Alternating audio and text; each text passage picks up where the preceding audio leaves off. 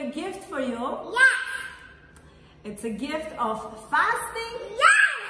and it brings blessings. Yes! Fasting is the oldest therapeutic method Yes. in the world. Yes. When animals are sick, animals, it's time for you to rise as a leader on earth. Time for you to raise your vibe.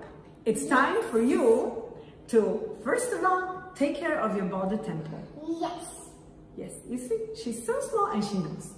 Okay, when you come here, you arrive uh, with the gift of human body.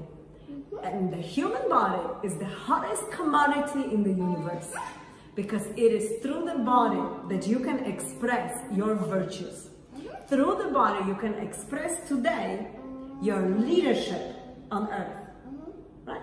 And the earth, for the sake of those little ones, the earth needs you to arise.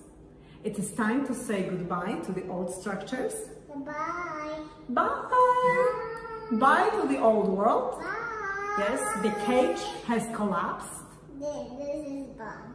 Mm, done. The cage is broken and no use to cry over it. Frequency on earth is rising. It is measurable with Schumann resonance. It is time for you to get over your fear. I like to eat something. Sure, after we finish the video, okay? You wanna talk like this? I'll give you grapes once we finish. Deal? Yeah. Okay. Leaders in ancient times fasted. Prophets, warriors, kings, queens, artists, spiritual, spiritual leaders, they all fasted.